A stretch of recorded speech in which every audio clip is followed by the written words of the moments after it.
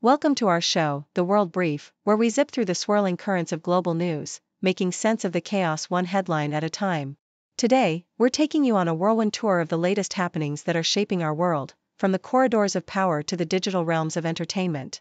First up, we're diving into the complex dynamics of the global south, the Japan US alliance's delicate dance, and the Biden administration's environmental policy shakeup. It's a world where the term global south is gaining traction, Japan frets over the reliability of its American ally, and oil companies are being told to clean up their act, literally.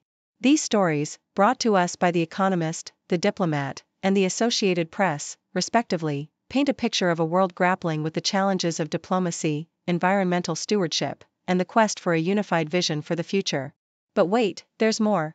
We're also peeking into the realm of political intrigue and the silver screen's latest offering. Democratic donors are opening their wallets wide for President Joe Biden's legal defense, while over in the entertainment world, Amazon Prime Video is set to dazzle us with Fallout, a TV series adaptation of the beloved video game.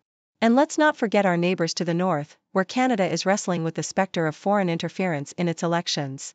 These tales, courtesy of the Associated Press and Yahoo US, showcase the multifaceted nature of our world, where politics, entertainment, and international relations intertwine. So, buckle up and stay tuned as we delve deeper into these stories, unraveling the threads of our complex global tapestry. From the shifting sands of geopolitical alliances to the battlefields of digital entertainment and the front lines of democracy's defense, we've got you covered. Please continue watching for the detailed content, and let's explore these fascinating developments together. In our rapidly evolving world, the dynamics of power, economics, and environmental responsibility are constantly being redefined. From the corridors of global diplomacy to the rugged terrains of public lands, nations and administrations are navigating the complex web of modern challenges. Let's embark on a journey through the insights of various media outlets to understand these pressing issues more vividly.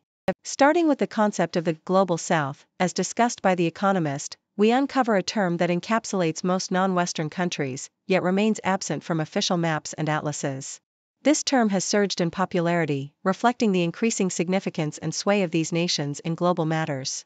China emerges as a particularly ambitious figure within this grouping, eagerly seeking to spearhead the progression of the emerging world.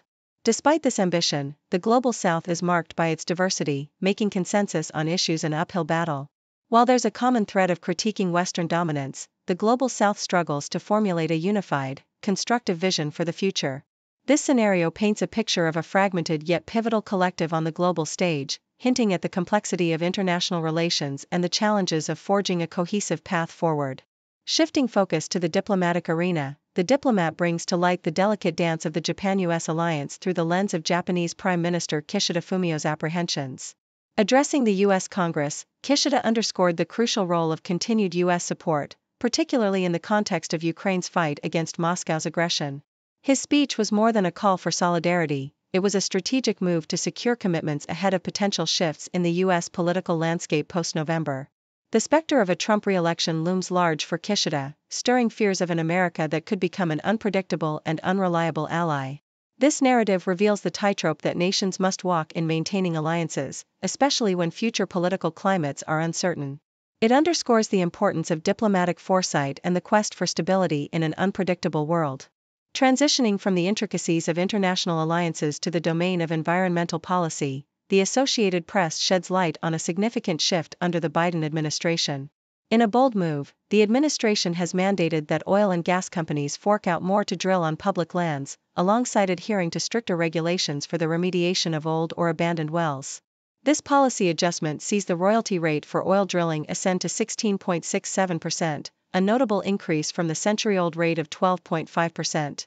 Furthermore, it raises the minimum leasing bond for energy companies, aiming to alleviate taxpayers from the financial burden of cleaning up orphaned wells. This development signals a more assertive stance on environmental stewardship and fiscal responsibility, reflecting a broader commitment to tackling the challenges posed by energy production on public lands. It's a story of how governance intersects with environmental conservation, highlighting the delicate balance between resource extraction and the safeguarding of natural assets for future generations. In weaving together these narratives from The Economist, The Diplomat, and the Associated Press, we're presented with a tapestry of global concerns that span geopolitical dynamics, diplomatic alliances, and environmental policy. Each story, while distinct in its focus, underscores the interconnectedness of our modern world. They remind us of the complexities that nations face in striving for progress, security, and sustainability. As we continue to navigate these challenges, the insights from these media outlets serve as a valuable compass, guiding us through the ever changing landscape of global affairs. In a fascinating turn of events, the Associated Press has shed light on how Democratic donors have stepped up to cover over $1 million in legal fees for President Joe Biden. These expenses have accumulated over a year long special counsel investigation into Biden's handling of classified documents. This financial support from the Democratic National Committee's legal account, primarily filled by high dollar donors, marks a significant move. However, it's not without its complexities, especially when considering the contrast with former President Donald Trump, who has utilized over $100 million in donor funds for his legal battles, including his upcoming criminal trial in New York. This situation raises questions about the use of party funds for legal defenses and its implications on political discourse. Switching gears to the entertainment world, Yahoo US introduces us to the much anticipated TV series Fallout, premiering on Amazon Prime Video. This series, based on the widely popular video game of the same name, transports viewers to the post apocalyptic ruins of the United States, following a devastating nuclear war with China. The narrative follows a vault dweller exploring the world, completing quests, and interacting with various factions. Set in 2296, the series promises a mix of new and familiar faces from the game, offering a rich lore that serves as both a prequel and a sequel to the original games. With its retrofuturistic styling and a 1950s aesthetic, Fallout aims to capture the essence of its source material, something many video game adaptations strive for but often miss. The success of recent adaptations like The Witcher and Castlevania offers hope that Fallout could pave the way for more faithful and engaging renditions of beloved video games. Meanwhile, in Canada, a report by Yahoo US highlights the mounting pressure on the Canadian Security Intelligence Service, CSIS, over reports of foreign meddling in the country's federal elections. Prime Minister Justin Trudeau expressed his unawareness of a report alleging Beijing's interference in the 2019 and 2021 elections. The CSIS has warned that foreign interference will persist until it's perceived as an existential threat to Canada's democracy.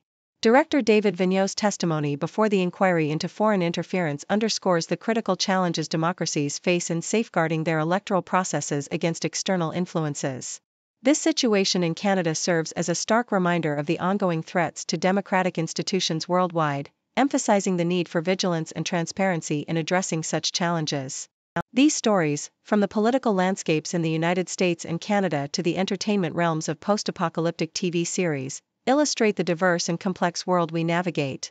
Whether it's understanding the intricacies of political funding and foreign interference or diving into the rich lore of a video game turned TV series, these narratives offer insight into the challenges, innovations, and creative endeavors that define our times. Thank you for tuning in. The content above showcases the latest briefing reports and analytical synopses, thoughtfully curated by the 6Do team. These insights stem from a wide array of reputable media outlets, think tanks, government sources, and specialized experts worldwide. We encourage you to explore these sources for a comprehensive perspective. Keep in mind that while the content may not always align with the official standpoint of 6Do Brief, it's not meant to be taken as absolute directives for decision making. Comprising seasoned media professionals, learned scholars, and accomplished scientists, the 6Do team embodies a trailblazing, fully independent media entity. To customize 6Do Brief to meet your professional needs, you have the option to subscribe to a diverse array of briefings on our website, 6dobrief.com. Regardless of your location, you can conveniently receive 6Do Brief via email.